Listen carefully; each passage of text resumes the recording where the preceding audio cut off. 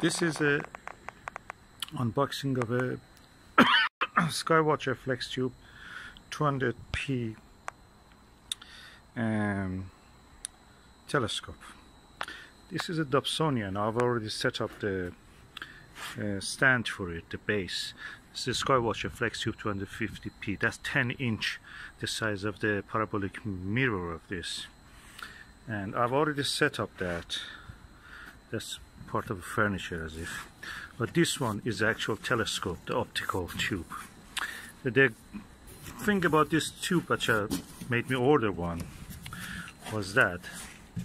It's a Dobsonian but at the same time because it is it is quite compact you can um, practically fold it. And if we reduce to the size that you can see here is around 80 centimeter and it has two millimeter uh, sorry two two inches uh, eyepiece um, adapter focuser. And that is a good point. So let me just take out the individual items. And let's see what is inside. Okay I can see a quite chunky piece let me just use both my hands and just extract this. Okay, now I have now set up the tube upright and I'm going to remove the plastic from the top. Okay, I'm removing the plastic. It's quite delicate optical instrument, very precise. As you can see, it has a dust cap, like a shower cap for the top part of it and a separate cap for the optical part. I've heard people saying that by removing this stopper here you can actually shut it tight so it will not be this gap of one inch here. And you can use this uh, dust cap on the top part. It will be completely isolated have a look around it. It has a, a swiveling uh, axis here, uh, handles for um, using it, carrying it, or guiding it.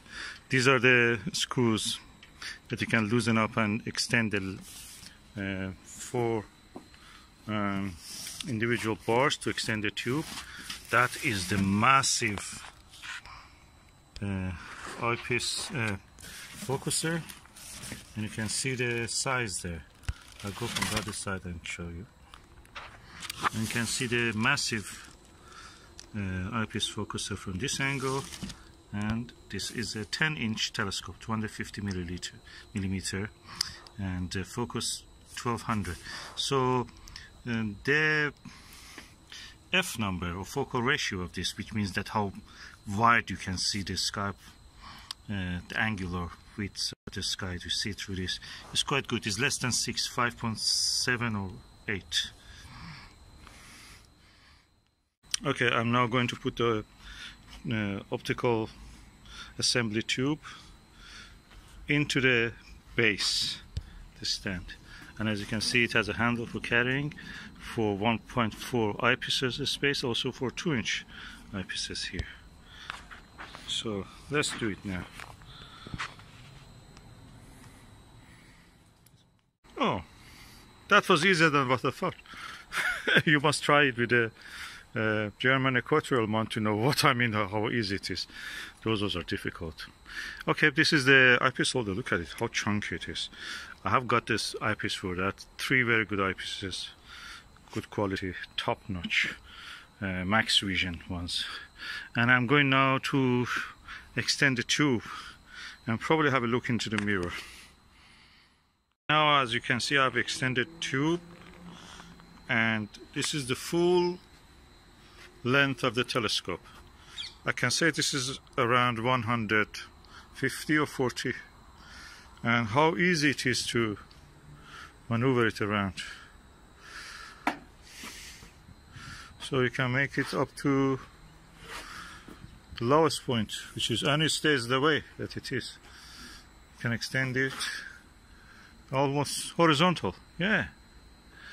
And if you want to go the opposite way it doesn't go that way. What you will do you turn the base. And again there is a handle here. You will turn it like that. And now let us see the actual optical assembly tube. That's the cap dust cap. This is the beautiful mirror of this lovely telescope.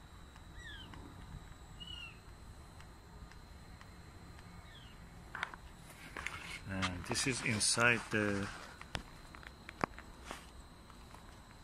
diagonal mirror and that's the cap you can see now let me remove the cap. That's the first light. Hallelujah. Isn't it beautiful? This is the best most portable Dobsonian you can ever see. It's amazing.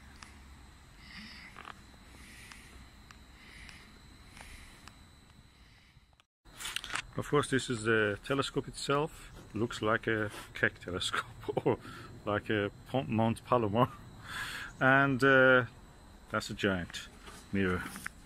And this is the instruction manual, uh, astronomical telescope user guide, a brochure introducing the different products from the manufacturer, 10 millimeter eyepiece, 25 millimeter eyepiece, which is a wide angle. So I'm gonna use that. And this is what we were looking for. That's the eyepiece holder what before that we can do look at the look at the uh, viewfinder as you can see this is the viewfinder on its own is a different is a is a telescope on its own I can say this is probably around 50 millimeter and uh, quite impressive size for eyepiece. I can use it as a telescope. Now I'm going to put the viewfinder here. It's very easy. It's a dovetail bracket. It slides here. So I'm going to do it now and uh, I will show you the result. I cannot stop admiring the ease of uh, installation in this telescope. Everything is so easy to work with. Telescopes, you know that. Even the smallest one with the German equatorial one are a pain to work with. This is such a giant telescope and it's so easy. Okay, I've installed the viewfinder, uh, yeah, the viewfinder, and I'm now removing the cap of it to show you the lens. This is the first view of the lens. Beautiful. And I'm now going to remove this lens cap on the end part of it and let us see how it looks if I look through this viewfinder. It should be a wide angle view. I noticed that uh, the telescope a little bit slides down so probably I should put a adjust the tension and the spring or whatever I have to do here. I'm sure there is something for that. And uh, anyway, um, that's something that I have to read the manual for that. At moment I'm not going to interfere with this. I'm just putting the lens cap, removing the lens cap from the, this cap from the viewfinder just to be able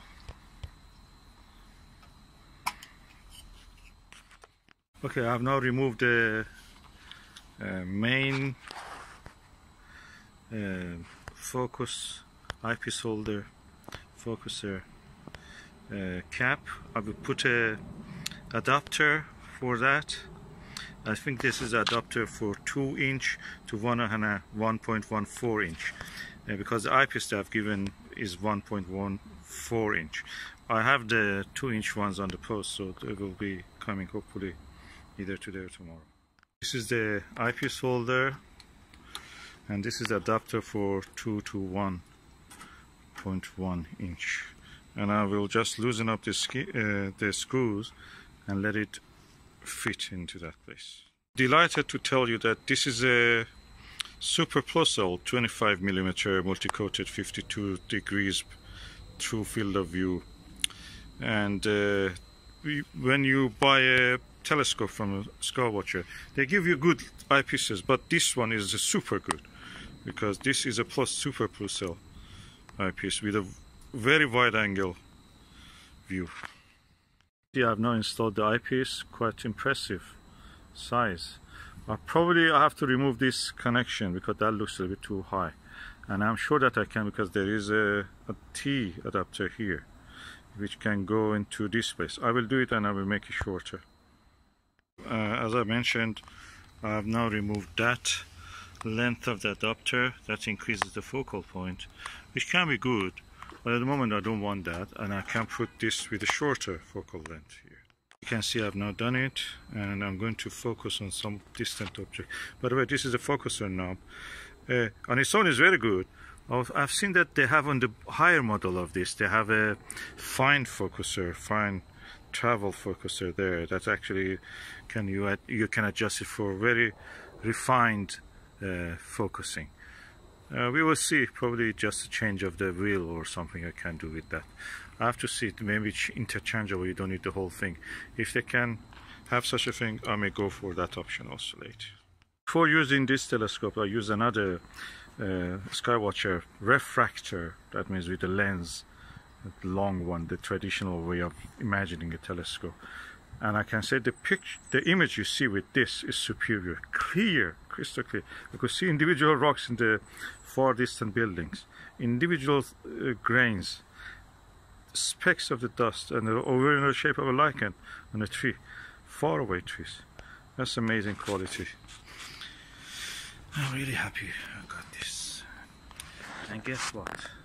This was not bought new. It was bought new 2018 July but I bought it as a second hand and for a really bargain price of 350 from auction site. That's amazing. This is a telescope that would have cost in the past probably 1,000 2,000 pounds. And the new is actually that price around 900 pounds. And in a step I can just dismantle it now. I've put all the lens cap. Now I collapse the telescope back. Okay, I already have put the telescope down. Now put the cap on it. The cap is back. And now remove the viewfinder. Telescope is just in two pieces. Mount and the optical tube. And the optical tube now goes to the box.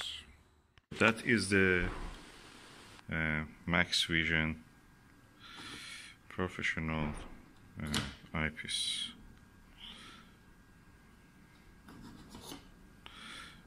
You can see it's quite chunky